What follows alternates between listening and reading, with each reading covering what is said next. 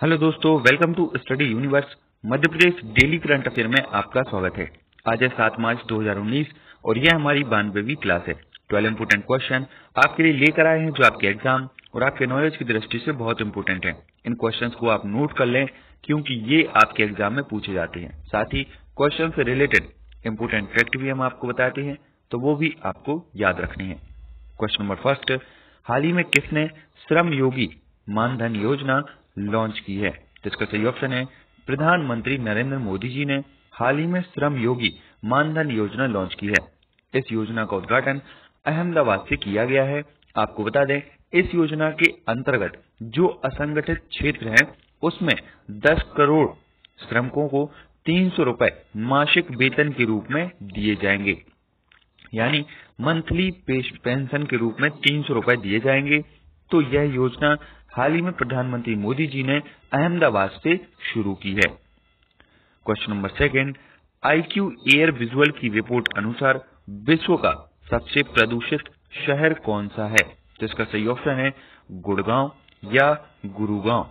गुरुगांव विश्व का सबसे प्रदूषित शहर है, ऐसी report I Q air visual द्वारा आई है। आपको बता दें, गुड़गांव का प्रदूषण का स्तर 135.8 यानी 135.8 माइक्रोग्राम क्यूबिक मीटर है। तो इतना आपको गुरुगांव के बारे में याद रखना है कि यह विश्व का सबसे प्रदूषित शहर है।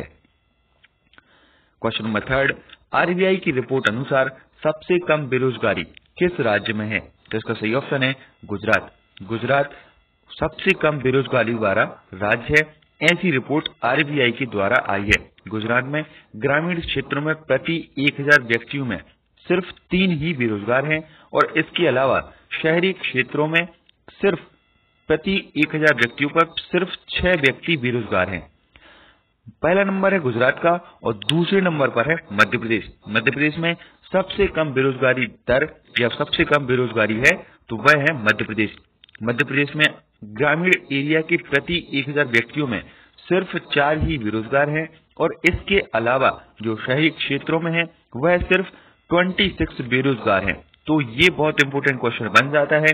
आरबीआई की रिपोर्ट अनुसार सबसे कम बेरोजगारी राज्य है, वह है गुजरात और दूसरे नंबर पर है अपना मध्य प्रदेश अब बात आई है गुजरात की तो मैप में आपको गुजरात के बारे में बता दें।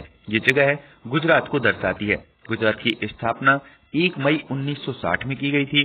गुजरात के गवर्नर हैं ओम प्रकाश कोहली। गुजरात के मुख्यमंत्री हैं विजय रूपाणी और गुजरात की राजधानी है गांधीनगर। तो इतना आपको गुजरात के बारे में याद रखना है। क्वेश्चन नंबर फोर्थ, हाल ही में किसे नालसा का अंतरिम चेयरमैन बनाया गया है? तो इसका सही ऑप्शन है जस्टिस एस ए बोबड़े को हाल ही में नालसा का चेयरमैन बनाया गया है। अब ये नालसा क्या है? आपको नालसा का फुल फॉर्म बता दें। भारतीय राष्ट्रीय कानूनी सेवा प्राधिकरण, यह नालसा का फुल फॉर्म है। एक बार फिर भारतीय राष्ट्रीय कानूनी सेवा प्राधिकरण नालसा का फुल फॉर्म है और हाल ही में जस्टिस एस ए बोबड़े को नालसा का अंतरिम चेयरमैन बनाया है। आपको बता दें, नालसा में व्यक्ति को निशुल्क कानूनी सहायता उपलब्ध कराना होता है। तो आपको याद रखना है, नालसा का chairman justice S A Bobde को बनाया है। क्वेश्चन नंबर फिफ्थ, हाल ही में अहमदाबाद मेट्रो रेल प्रोजेक्ट के किस चरण की आधारशिला रखी गई है? तो इसका सही ऑप्शन है दूसरे चरण की आधारशिला। हाल ही में प्रधानमंत्री मोदी जी ने अहमदाबाद में रखी है।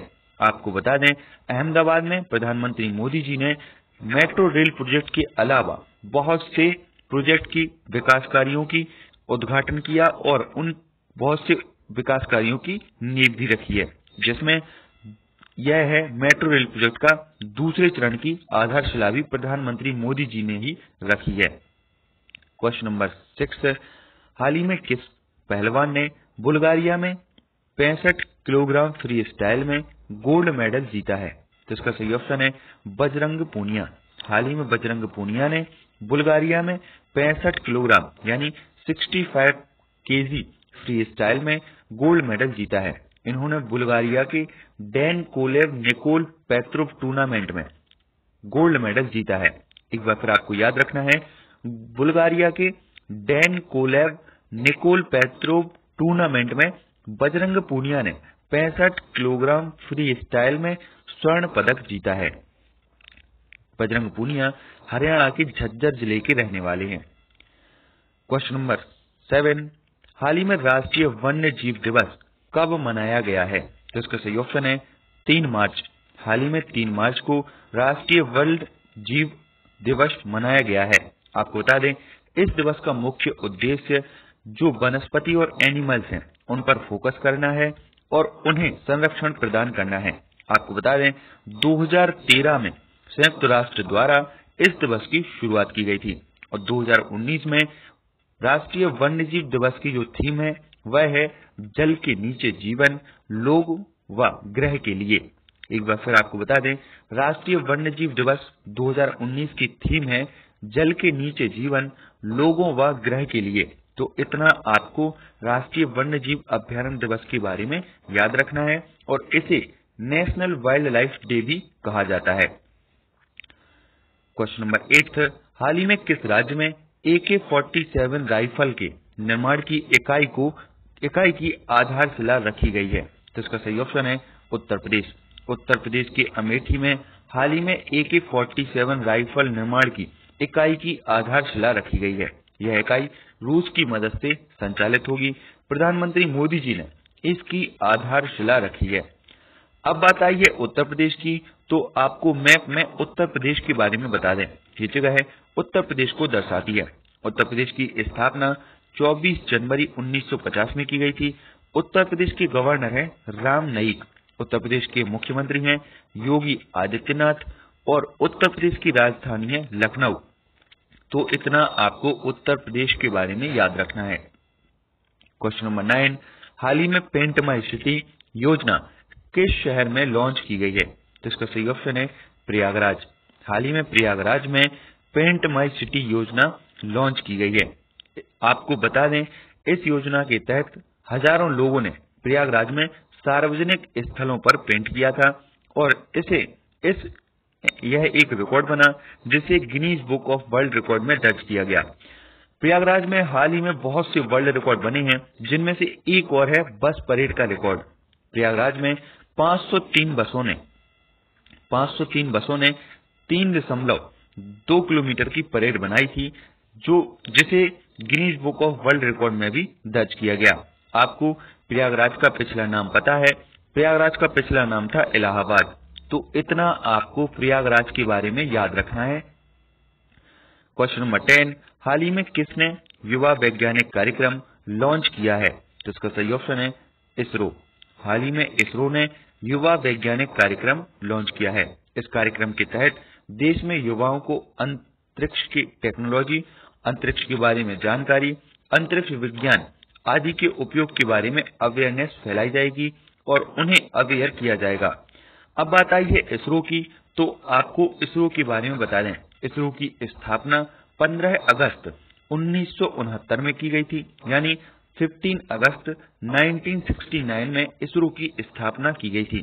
इसरो का हेडक्वार्टर बेंगलोर में है और एडमिनिस्ट्रेटर हैं के सिवान। तो इतना आपको इसरो के बारे में याद रखना है। क्वेश्चन नंबर 11 हाल ही में भारतीय भूवैज्ञानिक सर्वेक्षण ने देश में कितने जीपीएस स्टेशनों की स्थापना की घोषणा की है। जिसका इसका सही ऑप्शन है 22 स्टेशनों हाल ही में भारतीय भूवैज्ञानिक सर्वेक्षण ने 22 स्टेशन जीपीएस स्टेशनों की स्थापना की घोषणा की है। इन स्टेशनों के द्वारा भूकंप की दृष्टि से खतरनाक क्षेत्रों की पहचान की जाएगी। इसमें मध्य प्रदेश का जो स्टेशन बसाई जा रही हैं उसमें मध्य प्रदेश का भोपाल भी शामिल है। एक स्टेशन 22 स्टेशनों में से एक स्टेशन भोपाल में भी बसाई जाएगी। आपको बता दें, भारतीय भूवैज्ञान की स्थापना अठारह उन्नीस में की गई थी।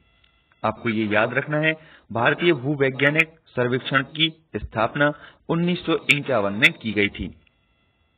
क्वेश्चन नंबर ट्वेल्व हाल ही में विंग कमांडर अभिनंदन को किस पुरस्कार से सम्मानित किया गया है? तो इसका सही ऑप्शन है महावीर अहिंसा पुरस्कार। हाल ही में विंग कमांडर अभिनंदन को महावीर अहिंसा पुरस्कार से सम्मानित किया जाएगा। आपको बता दें, यह पुरस्कार अखिल भारतीय दिगंबर जैन समिति द्वारा दिया जाता है और यह पुरस्कार हमारे विंग कमांडर अभिनंदन को दिया जाएगा। अब आपको अभिनंदन के बारे में पता ही है।